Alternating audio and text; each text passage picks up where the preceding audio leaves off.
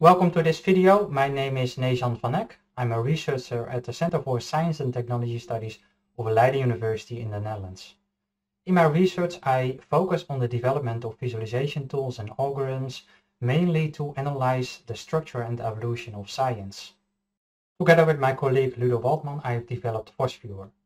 VOSviewer is a popular software tool that can be used to analyze and visualize scientific literature. The tool can, for example, be used to get a quick overview of the main structure of scientific fields, the main topics that are discussed, and the main researchers that are active in the field. Here we see the user interface of VOSviewer.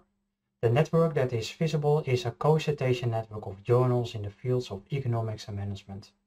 So this visualization shows how the journals in those fields are related to each other based on co-citation relations. Different groups of related journals are identified by VOSviewer. Colors represent groups of related journals. In red we see journals from economics, in purple finance and accounting, in green management and business, in yellow marketing and in blue operations research. VOSviewer has interactive functionalities available that can be used to explore visualizations in full detail. In addition, we have also visualization features available. Here we see a large-scale application of VOSviewer.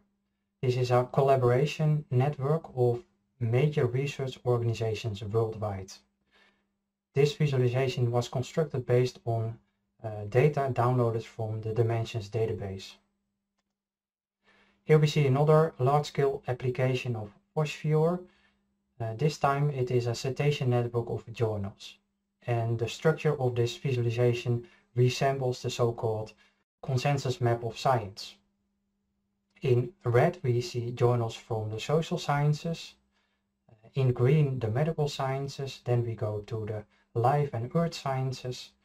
In yellow and orange we see the natural sciences with uh, chemistry and physics. And then in purple we see mathematics, statistics and computer science and then we are back at the social sciences. The development of VOSviewer is a long-term commitment. So we started with the development in 2009. Throughout the years, we have added many new functionalities. We have also included uh, new types of visualizations. And in the more recent years, we have focused on the support of different uh, data sources. So in addition to the traditional data sources like Web of Science and Scopus, we have now also uh, the support for the more open data sources like Dimensions, Microsoft Academic and Crossref. Today we are launching version 1.6.17 of the VOSviewer software tool. And this version includes two important new features. So first of all, we have made a connection to VOSviewer Online. And VOSviewer Online is a web-based version of VOSviewer. And this web-based version makes it possible to share and visualize visualizations online in the web browser. The second feature that is included in this new version is support for the lens. And the lens is a freely accessible bibliometric data source that is becoming increasingly popular. Uh, to illustrate those two new features, I will now give a demonstration in VOSviewer. I will start with collecting data from the lens. So in my web browser, I'm going to lens.org. And in this demonstration, I would like to create a visualization of a co-authorship network of researchers working at my university. So the first step is that I have to search for all the publications published by researchers at Leiden University. But to perform a search in the lens, we can go to the search panel. And in this panel we have all kinds of filters available. This time we are going to use the institution name filter.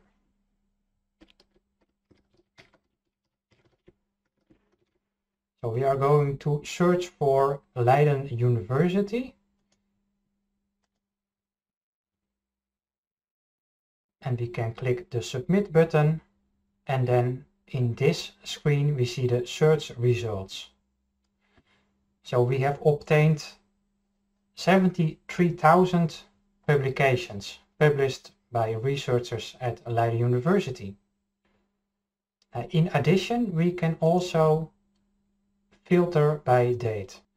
So I'm going to focus on the publications published in the past five years. So 2016 until 2020. And then we obtain um, slightly more than 19,000 uh, publications. Well, the next step is to export the search results. And over here we have an export button available that we can use.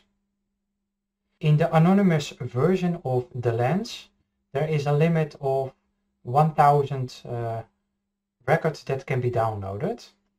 You can also create a free account and then the limit increases to 50,000. So I will use that one. In this screen we can also select the fields that we would like to include in the export. By default all fields are selected, uh, so I will not change that. And then we can click export. And now we see a notification saying that an email will be sent as soon as the export file is ready for download. I now go to the standalone VOSviewer. We can use the create button to create a new visualization. So this time we are going to create a visualization of a co-authorship network. So I will choose the second option.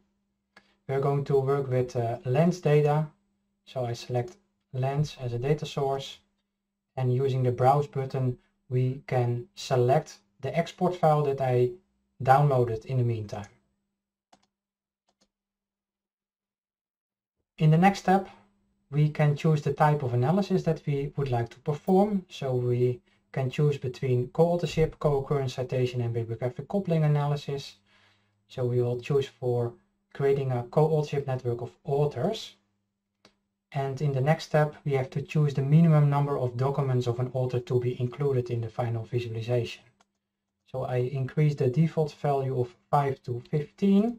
So it means that in the final visualization, only those resources will be included that have published at least 15 publications in the past five years. And then in the last step, we see uh, an overview of all the resources that are selected. And then we can generate the co-authorship network and we can visualize it. And this is the result. So each circle in this visualization represents a researcher and links between researchers represent co-authorship relations. By default, only 1000 co-authorship relations are visible, so we can increase it to 10,000, for example. And we can also increase the size variation.